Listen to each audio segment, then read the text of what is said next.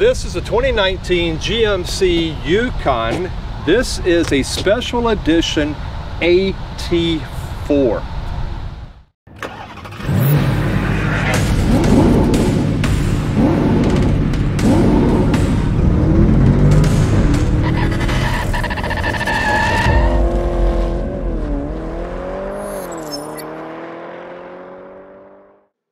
Like to thank our friends at Snell Motors in beautiful Mankato, Minnesota for loaning us this unique Yukon AT4 for our review today.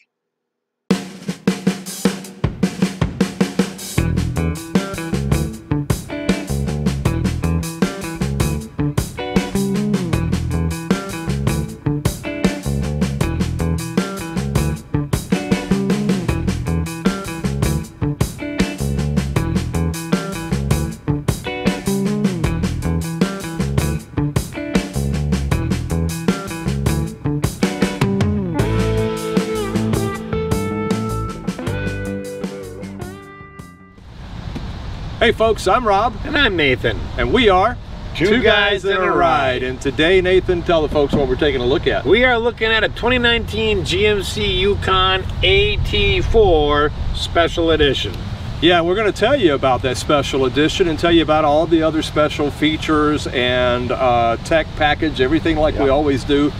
But if you like, before we do, if you like keeping up with new cars, trucks, and SUVs, you like to know about all the technology, and you like cool collector car stories, Take a minute to hit that subscribe button below and hit that bell notification at the top so you never miss a video. that's right, folks. So what do you say, Nathan?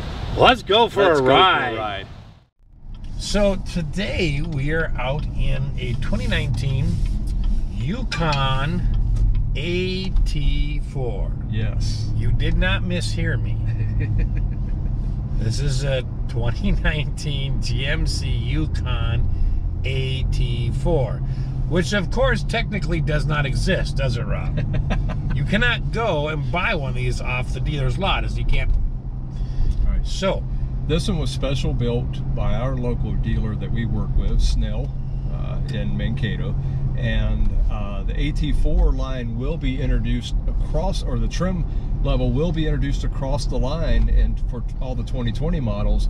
But this is a 2019, and the dealership actually built this, so you can get it if you go into your dealer and you order one and you add everything to it basically what this was was a Yukon with a graphite edition and then they added the AT4 trim level as well.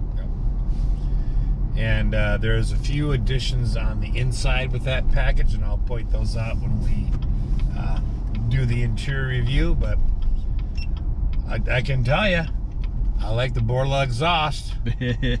Boy, can you hear that? This has a nice rumble.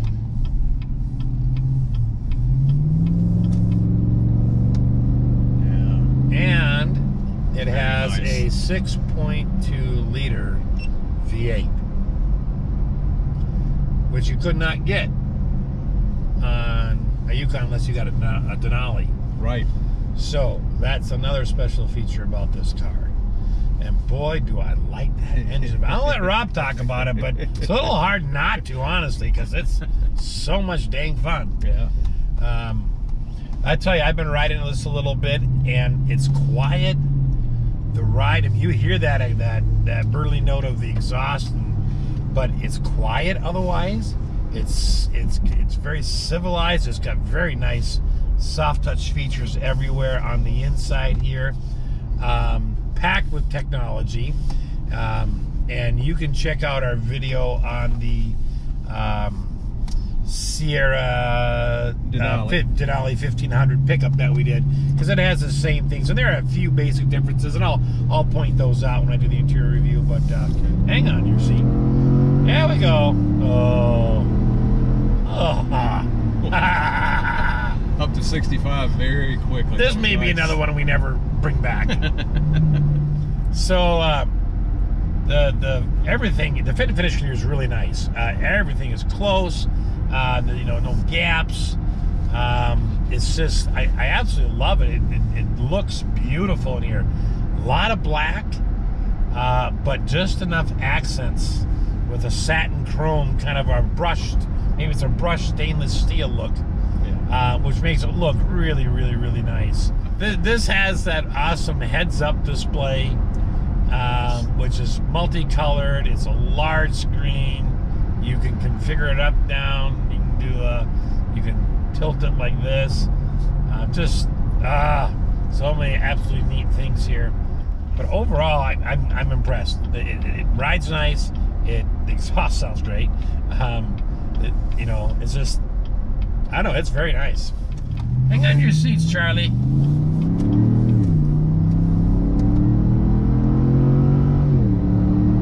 Oh, Uh, you can't beat that. That that Borla exhaust is really really nice.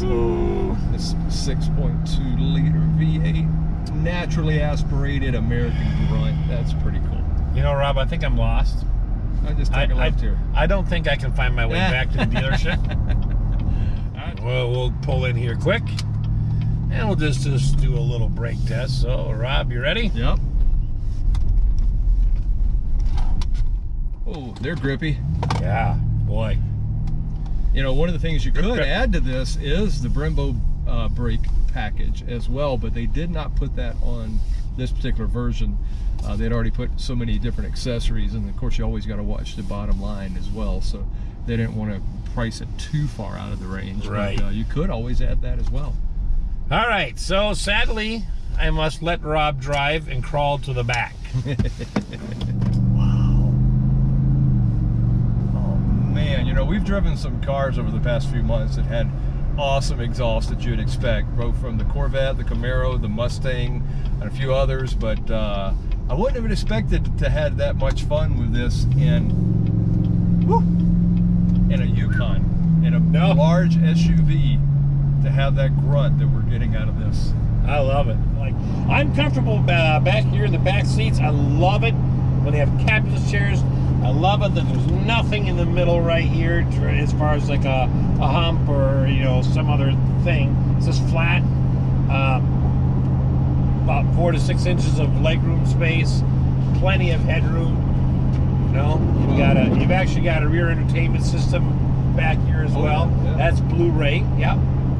But it is overall a very comfortable ride too. Yeah, and the back seats are comfortable.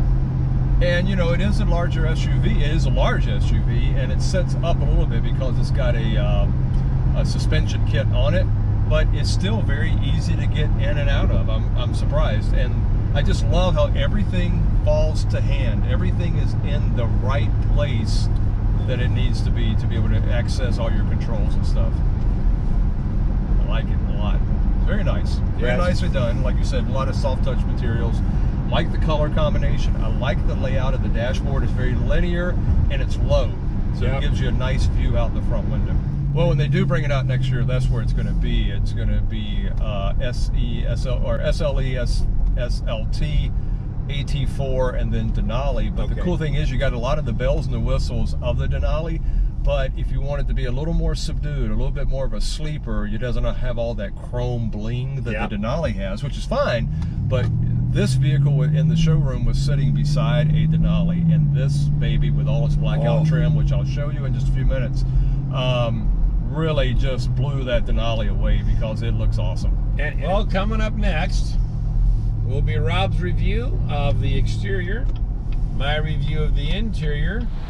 The GMC Yukon's sleek exterior design and refined details offer distinguished style that creates an unmistakable presence. It offers strong performance that helps you drive with confidence and control. It has a long list of features, an upscale cabin, and a silky ride with an upgraded suspension. This is a 2019 GMC Yukon, and as we said before, it is the AT4. That is a special edition. One of the special things about this vehicle is it is powered by an Ecotec 3 It's a 6.2 liter V8 producing 420 horsepower, 460 foot-pound of torque. It is driven with a 10-speed automatic with overdrive. It does have full-wheel drive. It has an auxiliary external transmission oil cooler and a heavy-duty air-to-oil cooler as well. Has a 170 amp alternator. Now the AT4 conversion includes a cat back Borla exhaust with Borla carbon fiber exhaust tips. You also see, also see the gloss black fender flares by EGR. It has front underbody skid plates, has a 200 watt subwoofer kit by Kicker, and it has a Rough Country leveling kit. You can see too down at the bottom, it does have the red powder coated uh, tow hook covers. There are AT4 badges, 20 inch AT wheels and tires, riding on P265 65 R20 all season black wall tires. Now up front you do have the uh, halogen projector headlamps with IntelliBeam automatic on off.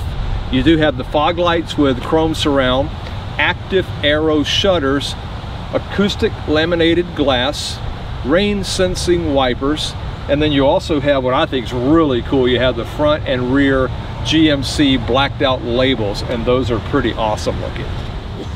Okay, I was mentioning it does have the AT4 badges. You also have outside heated power adjustable folding and driver side auto dimming, body colored with integrated turn signal integrators at turn signal indica indicators, easy for me to say, and it does have ground illumination under back. You also have remote keyless entry, black assist steps with gloss black accents. Now the front suspension is coilover shock and stabilizer bar and out back the rear suspension is multi-link with coil springs. You also have a 3.23 rear axle ratio and it does have full wheel anti-lock disc brakes. Some of the safety features on this vehicle, you have lane change alert with blind, blind zone alert, uh, lane keeping assist with lane departure warning, low speed forward automatic braking, low tire pressure uh, warning.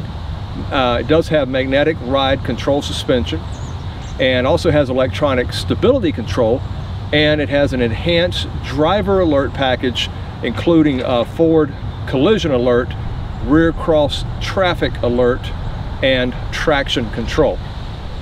Going around the back side of the vehicle, we'll take a look at the tailgate area and the cargo area. And again, on the back, you see the black GMC and you see the AT4 uh, labels. Now, it does have a hands-free power programmable rear liftgate. It has LED tail lights, rear view camera, integrated trailer brake controller as well. Uh, the cargo area length at the floor to the seat, the first seat is 79.9 inches. This is a little low. 79.9 uh, inches cargo area length at the second seat uh, is 43.2 inches and the cargo length area here at the third seat is 11.2 inches. Uh, cargo box area height is 33.94 inches. Maximum payload capacity uh, is 121.7 cubic feet and the ground floor, the floor to the load lift here is 34.91 inches. Okay, this vehicle also uh, does come with a trailering, trailering equipment, heavy duty, uh, which includes the trailering hitch platform, seven wire harness with independent fuse trailering circuits mated to a seven-way sealed uh, connector and a two inch trailer uh, receiver, receiver, excuse me, easy for me to say. Fuel economy on this vehicle is 15 city, 22 highway, and 18 combined. And here, this does ride on a wheelbase of 116 inches. Its overall length is 203.9 inches. Its width without the mirrors, 80.5 inches. Overall height, 74.4 inches with a ground clearance of 8 inches. Now, gross axle weight rating is 7,300 pounds. Curb weight, 5,743 pounds has a 26 gallon fuel tank and its max trailering uh, is 8,100 pounds. Does have a turning diameter, turning circle of 39 feet. Comes with a bumper to bumper limited warranty, three years, 36,000 miles, and a drivetrain, powertrain warranty of five years, 60,000 miles. Now in the front end, the angle of approach is 15.3 degrees and the angle of departure is 20.9 degrees and we talked about the uh, ground clearance. Now what those mean is the approach angle means how steep of a ramp, a rock, or a log the vehicle can meet without scraping the front end. And on the backside, on the departure angle, that's uh, similar to the approach angle, except it's related to uh, leaving rather than approaching an obstacle. Of course, in all circumstances, a larger degree of angle is better for off-roading, keeps you out of trouble. Ground clearance, the angles, the bigger they are, the better it is. Talking about styling on the vehicle, I absolutely love what they did. What they started with was a Yukon with the graphite package, and that graphite package gives you the special blacked out trim. And what they found is a lot of folks that like the technology and all the features that's built into the Denali, they don't necessarily like all the chromed out pieces on the vehicle. So with this, with the graphite, and then adding the AT4 with the Borla exhaust, the badges, a couple other neat things that you got, the subwoofer and others, you get a very, very high-end vehicle, but it's not all chromed out and blinged out like the uh, Denali is. And they found that they've really got a good customer base for this vehicle. It's more of a, a low-key, more of a stealth-looking vehicle by doing that. I do like the uh, the uh, arch arches here that do that are by EGR that do give you a little added protection and you'll see these inside wheel wells are indeed uh, felt line that helps on the sound deadening of the car as well I like the blackout roof rail the blackout trim all around and I really love the mirrors they look like more something that you'd find on a on a regular passenger car instead of a big giant uh, in-your-face type of uh, truck mirror but they really give you a lot of vision out that mirror as well uh, so really cool, cool features there. We did talk briefly about the tire and wheel package. I love the design. Uh, you've got the six spoke wheels and you got the uh, P275 60 R20 tires. I really do like those. And I like the black gloss trim along the base of the running boards too. All in all, very nice vehicle. Only a couple little chrome pieces here and that's on the badging and on the uh, door lock uh, button on the side of the vehicle. Very nicely done. All right, so Nathan, it's all yours. Why don't you take the folks for a tour on the inside and show them what how nice this car is. I just kind of stopped when you said it's all yours. I just figured I'd take off and uh, maybe never come back again. All right, come on in, folks. Let's take a look at this beautiful truck. All right, so starting on the door here, we've got, I, I, really like this design where it's this kind of a swoop down here, but you have your auto up and down windows on all four windows. You've got your power mirror controls along with your power folding mirrors, window lockout down here, uh, and we have got good storage areas down here. You've got another one under here along underneath this piece of trim, and then you have your memory settings, uh, two position memory settings uh, for your seats and then you have one of the Bose speakers. And as usual the unlock and lock buttons are up here by the door handle. All right you've got your power seat controls right down here. And we've got a nicely perforated leather surface here. I'm just gonna give you a shot of the whole interior here for a second And then we'll come back over here. This does have the HUD display, so you've got your uh, control for up and down, you've got your info button, and you got your brightness uh, um, for the HUD display right there. Down here, this is, of course, your dashboard lights and infotainment uh, dimming switch. You've got auto lights. There's your, your fog lamps. Then you have uh, two high, auto, auto, uh, four high, and four low right here. And then this is equipped with a trailering package, so your brake controllers are right here. Moving on up here, you've got your foot controls, you've got traction control on and off, parking sensors on and off, and then lane departure warning system on or off, and the and then uh, yeah, on or off. It is power tilt and telescope. You've got your rear uh, button for your rear window washer down here, and and uh, wiper controls. Okay, let's. I like these floor mats they've provided. These are uh, front and back. They cover absolutely everything. You can see this pocket right over here. I really like this one uh, where you can store phones and stuff, and it's on both sides of the center console. So, um, stepping on the inside, and uh, I don't know if did you catch the startup or not? Yeah. Okay, so um, I, a couple of things that I just really like personally. I like the you know the sort of the green lit on the uh, dashes on the RPM speedometer, but then it's a blue accent light on the outside of it along with the chrome trim. I just think that looks nice. And then of course this is an all digital uh, driver's cockpit display uh, besides the RPM gauge and the miles per hour. And I just I love it. It's so crystal clear. It looks a lot like the Sierra. Um, and if you want to see more information on what this can do, look at our video on the Sierra 1500 um, for both this and the infotainment screen, and you'll see it. Um, so uh, this doesn't have anything, there's nothing necessarily unique on the AT4 about the driver's information center. Um, so I'll just point out that, you know, these buttons will look a little different than the, than the Sierras. Uh, they are um, like a soft touch plastic. He does have voice command, and then of course your cruise controls over here, along with your crash uh, mitigation system here, and your heated steering wheel. It has power tilt and telescoping, and then it does have, like I said, the trailing package. So you got a tow haul mode, and then these are not like for shifting through all your gears. This just does like low one, low two, and low three. Okay, uh, over here. Uh, I love how, um, this is the same infotainment as as the Sierra, but they've done there's been obviously been some upgrades in the short time since we've done this, this year um, they've got uh, big square graphics instead of the the round ones uh, which is really nice. I, I love that look. And uh, this does come with navigation and traffic. And of course Apple CarPlay Android Auto and Bluetooth and it is the Bose sound system. It's very, very nice.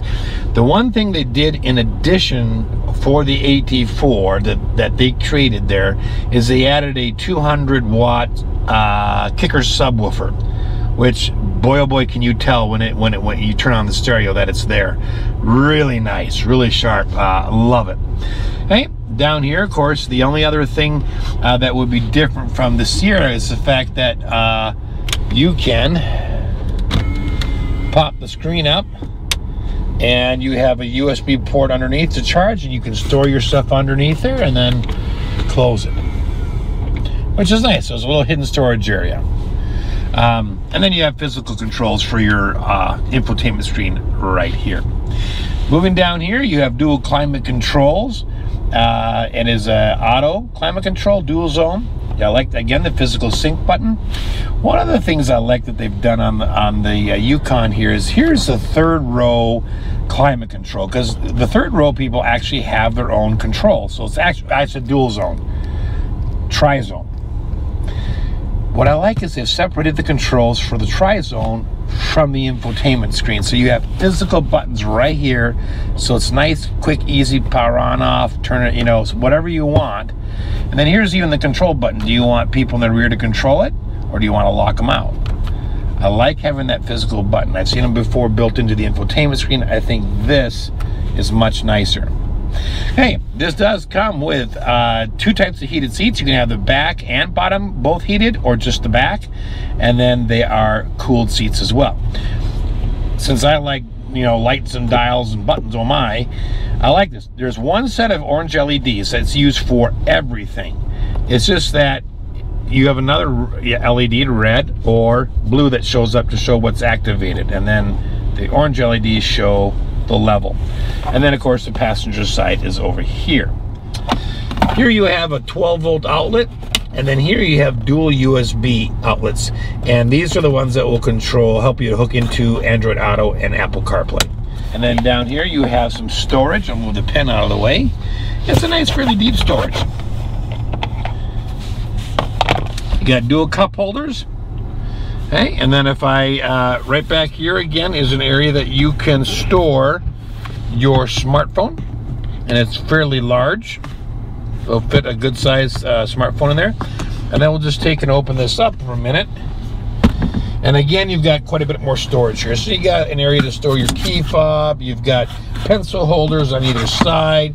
You've got some extra storage here. You've got a 12 volt outlet there.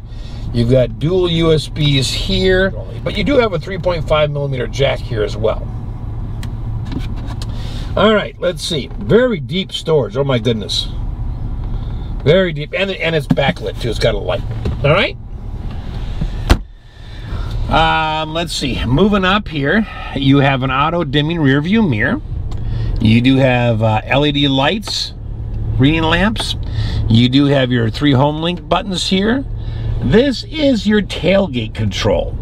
So if, if in the video you're watching, I'm not sure if I showed it, but um, you know, you, you, can always set it and usually we see it in the door. Here it's located up here, so you can set the height of your door opening there. So these are your uh, to control your lights in the vehicle, like do they come on or off? You know when the door's open, that kind of stuff. Okay, and then up here are your sunroof controls. The shade is a manual control, but you you know it'll open with a with a power button if you're just opening it up.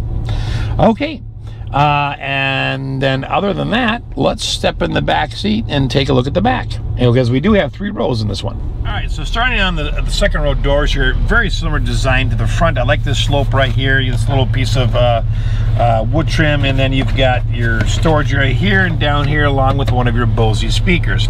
Hey, again, you've got these uh, plastic mats that are covering uh, the entire back row uh, for the second row, not in the middle, but they do cover everything else. You have two seat back pockets, and then up here you have got dual USBs, you've got an HDMI input and a 3.5 millimeter jack, as well as a volume control, all for your DVD screen, which is Blu-ray and up here. And then you have a controller that you can pop out and use. Okay, very, very nice. This, this is the third part of the tri-zone climate control where second row passengers can adjust their temperature, their fan speed. Uh, they also have heated seats. Now, one of my favorite features probably is the fact that they are captain's chairs. I like the grab handles here. This one does have uh, side steps on there, uh, which which is really nice. Okay, you can of course uh, bring the, the handles up or down, and then you can. There's another button on the right or left, sorry, where you can recline your seat at a fairly good level. Okay, bring it right back up there. Now, headroom, I got a good, good two inches. Leg room, seats where I left it, I've got, I don't know, depends on which leg I look at. Probably I've got anywhere from five to uh, five to seven inches of space, but plenty of room. Okay, um, back here, in the third row, there are a couple of ways to get back here. So let me step out for a second. I would just walk through the middle because it's big and wide. But, okay, so I just take this, put it down, and it comes all the way up. And that's just one lever. You just pull it, and you pull and then you pull it a little bit more, and it comes up. So let's see. I do kind of like, I'm, I'm to guess that this is going to be a, not too bad to get into. Grab the handle, yeah, that isn't so bad for a third row. Um, I've seen a lot tighter spaces. Okay. So, now, I am uh, in the third row. I'm, I'm a little cramped. But remember, I had about four to four to seven inches, depending on which way I was kind of angled on the seat. So, I think um, we could get a lot more comfortable than where I'm at um, if I move the seat farther forward. Okay, if I scoot back with my back all the way against the seat, I've also gained an inch. All right, so the third row here is slightly raised from the second row. So you do have a little bit better view than the second row passengers as far as height goes. Okay, uh, to my head, close to three inches of space, two and a half. Okay, leg space, probably about an inch. Um, but they are fairly low to the ground. You can see how high up my, my, my back of my leg comes from the seat. So there, there isn't any contact right there. But you know it's a typical I mean uh, I, I think this would be the kind of seat you would use for uh, small kids or um, it's just a very temporary okay we got uh, you know we got a couple extra people we can throw them in and, and make the trip uh, for short distances. Certainly not meant for, for long distances. So it is functional and does what it's supposed to do and then you got dual cup holders I do like the fact that you have a USB or a excuse me, I do like the fact that you have a 12 volt outlet right back here. That's really nice. Okay, so then the question is how to get out, and I'll show you how to get out because I found it, and it's a way easier way to get in. There's just a button on the on the left here, and it's on both sides. And if I push that, and I push it again, it lifts itself up, and I don't have to do any work.